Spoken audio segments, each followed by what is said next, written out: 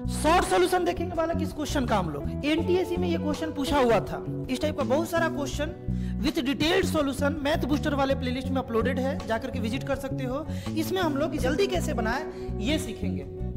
ध्यान से सुनना। ये बात गिवन था, ये हमें निकालना था। इसका एक फॉर्मूला बस हमें ध्यान रखना और ये क्वेश्चन तुरंत बन जाएगा।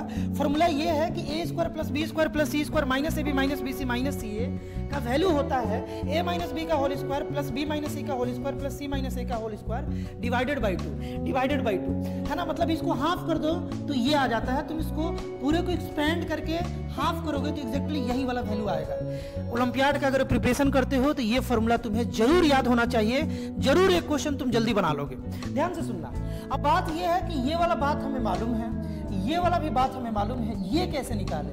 ये भी निकाल लोगे, ये भी निकाल लोगे। इसका वैल्यू बताना मतलब इसका वैल्यू बताना और इसका वैल्यू बताना मतलब ये दोनों तो मालूम है, ये निकालना है। ध्यान से सुनना, अगर हम इन दोनों इक्वेशन को हम लोग ऐड कर दे तो यहाँ पर हो जाएगा A minus B plus B minus C is equal to two plus three, दोनों को ऐड कर दिए तो यहाँ से देखो ये बी और बी कैंसिल हो गया ए माइनस सी का वैल्यू आ गया फाइव बट हमें निकालना है वहाँ पर सी माइनस ए सी माइनस ए निकालना है। तो यहाँ से अगर हम लोग माइनस कॉमन ले ले तो ये बन जाएगा सी माइनस ए ब्रैकेट को ओपन करोगे, यही बात आ जाएगा।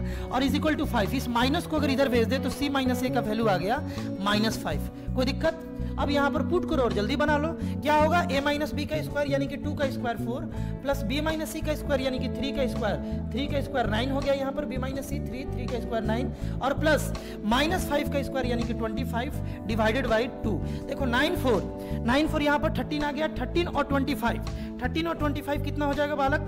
थर्टी एट हो जाएगा, थर्टी एट बाई टू यहाँ पर, नाइनटीन इसका वैल्यू आ जाएगा। इन सबको सॉल्व करोगे तो अपने पास नाइनटीन आंसर आ जाएगा। अगर तुम्हें ये फॉर्मूला याद है तो जल्दी बना लोगे और याद होना ही चाहिए अगर तुम ओलंपियाड का प्रिपरेशन कर रहे हो तो।